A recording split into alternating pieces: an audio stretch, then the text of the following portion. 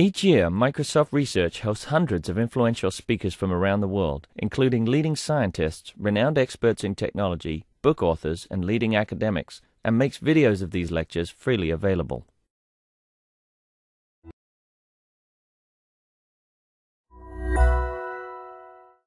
Next we have a very different take on neighborhoods, very LA style.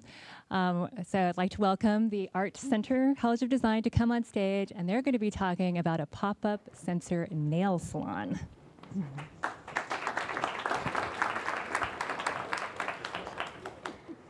Hi, my name's Jenny Rodenhouse. And I'm Christina Ortega. And uh, we're two graduate students at Media Design Practices at Art Center. Uh, it's not Just experiencing some technical difficulties with the clicker. Sorry. This isn't working. Ah, there we go. Thank you. Okay. Um, and uh, the observation we sort of began with was really noticing that there's a growing population of wearable devices and really wondering about, you know, what new systems or services that might develop in order to support these new devices and the, these new wearers. And so today we're really going to talk with you throughout our process and kind of um, present that to you. So kind of taking you through our research and investigations in existing services in Los Angeles, um, our early prototypes, and our user testing, which really became this um, pivot point for us, and where we um, really developed these new insights um, from our research. So our investigation began um, at an a nail salon. Um, nail salons are a really important part of these rituals of self-maintenance in Los Angeles. Um, there's a salon on every corner, and it's a place where you can go and unload and have a great time. Um, so Jenny and I went. It was a two-hour install, and Jenny strapped a GoPro to her head. and it started with this fantastic negotiation between us and the nail technicians, and that really turned into small talk, and from that it turned into gossip. And from that we really felt, when we left, like a sense of therapy from it. Um, and the nails have a three-week life cycle. From that life cycle, um, you, have, you return to the salon, have your nails deinstalled, and then reinstalled. Going to this nail art salon really opened us up to this um, passionate experimental subculture that's in LA and worldwide. So from like really being inspired by this nail culture, we started to mix kind of this more tech aesthetic with nail aesthetic. So sensors and charms on one nail. And we also explored like new three-dimensional forms and new sensor behaviors. And from this, we kind of generated a full system of different nail extensions, um, exploring piezos for and watch batteries for uh, power generation, which is a big issue with wearable technology um, as well as how to distribute that power to uh, your fingertips. So looking at sensor or circuitry nails and uh, 3D breadboards, as well as different sensor um, behaviors, like just a simple LED all the way to something more complicated, like a haptic feedback or flex sensor or um, something more lines as like, um, like space or um, Proximity. Proximity, thank you, proximity sensor. So after we designed this set of nails, um, we really wanted to get people into the studio and try them out. So we started a user testing scenario. Here I'm, I'm embedding um, piezo to tap, uh, tap tabs, tabs to Devon um, attached to LEDs, and Chrissy had proximity sensors attached to haptic feedback. Um, after the scenarios, we talked to Chrissy, and Chrissy said, I would use these nails if I wanted to quit smoking. And at that moment, we really realized that it wasn't about what we designed on the nails, it was about the nails giving Chrissy a platform to speculate for herself.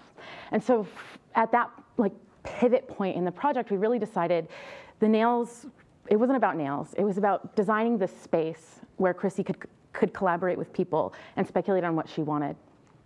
So we really shifted our designs from like looking at those nail extensions to more this investigation of the salon or the space. So, you know, what are the new juxtaposition of tool sets? And then what are these new roles? So we kind of thought about, okay, well, there would be a manicurist sitting next to a developer. And then there'd be an interaction designer, an industrial designer, and then there'd be a doctor, yeah, so that, you know, he could chart and keep track of Chrissy's progress. So it was really about this combination of salon and maker lab. And so two weeks ago, we opened up the sensor salon in my apartment. and here in LA. And so we hired seven individuals for a one day opening. Um, so this is our client, Sarah, and there was such a great educational moment with her. And at this point, she's ecstatic about the possibility of getting an LCD screen on her nail. and this is our um, this is our nail artist. She's a fantastic nail artist to the stars, and she was really interested in embedding LEDs on nails. So we went through a whole demo of just embedding LEDs on nails. Um, then we have our dev and design, our development and design team. Um, it's Marcus and Aaron here. Uh, Whitney um, was the name of our nail artist. Marcus and Aaron here, um, and also Claire not shown. And they helped with 3D printing and coding and sensors and everything. And then lastly, we had a sensor ethnographer. This is Erica, and she really helped us extract, um, interpret what Sarah wanted and what she needed on her nails. And the day began with a brainstorm. Um, everybody came in, everybody introduced themselves, everybody um, kind of explained what their skill set was. And then we went in and we explained what was the sensor salon, what these sensors were, how we thought they could be used. And there was this fantastic like educational moment with Whitney and Sarah where they're not, they're very new to maker culture and they really, you could see the sparks light up when they found out, like with Sarah, finding out she could have an LCD screen on her nail. and they just, their ideas went rampant. So in the morning, you saw like the group kind of was convened and brainstorm and together, and then they sort of broke off. So we saw two parts of the room sort of form. So on one side, you see Whitney and our client kind of form, and that became this like install on body area. And then on the other side became much more of like the prototyping and making side where uh, more of the dev and design collected where they started coding uh, the different sensors and sending 3D prints to the MakerBot. And then towards the end of the day, it became very much more about the install. So the team kind of reconvened um, to install on her fingertips. And some of the things that couldn't be installed, like say a GPS or the LCD screen, it was really great because we still wanted Sarah to experience them. So one thing we did was have her like walk around the block and watch her GPS coordinates get logged, and it immediately made her think of all these other opportunities for like running, for example. And then another one was a great thing was we were coding the LCD screen, and we are like, "What do you want it to say?" And she could just yell across the room, and immediately it was just like the code would update, and then we could walk it over and uh, make her smile. So this is Sarah's completed set of nails. It's really a collaboration between everybody at the salon and Sarah. And she really got to have a say in what she was getting, both on the design and the tech. And another huge part for us about the salon is keeping um, note of everything that she's had. So writing down who did what on her nail, what code was in the nail, what STL files we used for 3D printing, so that her first appointment at the salon and her second appointment at the salon evolve. And then you introduce this upgrade cycle to wearables. So really our research project tries to um, investigate and look at multiple different themes, some of which were you know, looking at a new culture and new aesthetics, so that combination of nail art and wearable tech aesthetic, as well as like wearable tech disruption. So we kind of learned that it really wasn't about designing just this one perfect object or device, that it was more about designing this network of people, sensors, data, and devices as well as this concept of made to order. So we really love this idea that people could like come in and program or prescribe their own interactions, as well as a new service model. So not only making this like physical storefront that you can visit, but also looking at, at this like new type of distribution, making, installing, and updating of technology. Thank you. Thank you.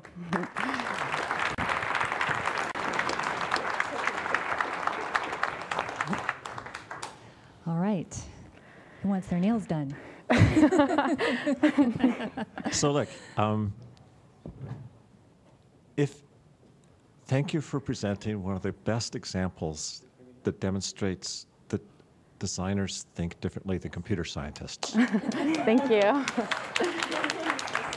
but that's not enough.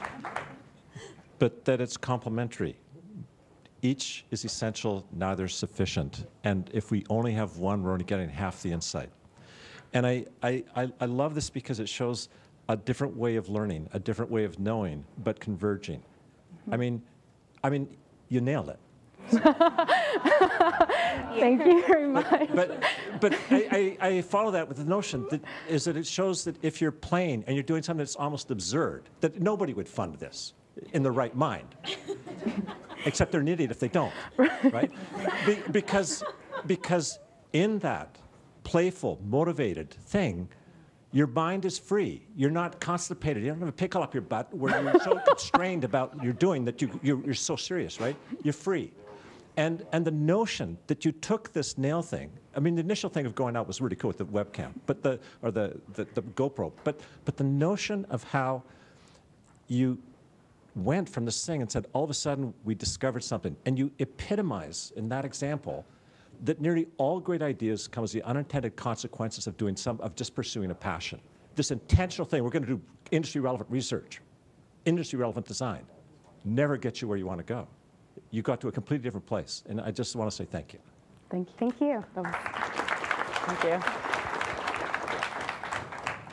I agree with everything Bill said. This is and I appreciate your reflection on it as a case study as well. I think it should be written up. I'm also going to encourage you and encourage Microsoft to have you have a nail, nail salon next year at the research conference. Um, and, and the real reason is, is exactly what Bill said, is it elucidates, what do you think of that? Um, it elucidates the, this idea of, of design and technology working together. That I love that you set it up in your house. Um, the next thing I wanted after that was um, was the the psychologist because I think you were getting somewhere really interesting with nail salons being this psychological release. Um, I I found myself asking myself if I went into a nail salon and there was technology, would I just think work, right? As opposed to what I do when I think when I go into a nail salon now and I think total like brain candy, read dumb magazines, don't think. Um, and so I think understanding that that our perception of that would be Mhm. really interesting. Absolutely. Yeah, I want to echo what these guys said. I think it the creativity in this was really fantastic, and, and it brought out a lot of things you wouldn't think of otherwise. Uh, I want to get you together with, with one of my former students, Juri Imamura, who did a, a thesis project around nail salons and, and social media um, on a similar subject. But you brought home something that I want to highlight, and you mentioned it at the end when you mentioned life cycle there. You talked about how the, the typical cycle of a nail do is three weeks. And then you're throwing in this idea of nail uh, embedded technology. And then you throw in the end the mention of life cycle again. And all of a sudden you've pointed out that when we start to think about this kind of ubiquitous throwaway sensors, we're talking about a product life cycle of three weeks. That is mountains of trash. And that's really good to bring that up because as we look at other technologies that we're developing, we don't see that absurd limit. When we look at something like this, we see that limit and we go, holy crap, that is a lot of stuff we're putting into landfills and we start, need to address it. So those kinds of exercises, as Bill point, only really come out in these kind of uh, design exercises and I think it's fantastic that you did that. So great work. Thank, you. you. Thank you so much. Thank you. do. And I think we have Professor Ben Hooker here who worked with them, as well as Anne Burdick, and then Phil Van Allen also worked there. Thank you guys.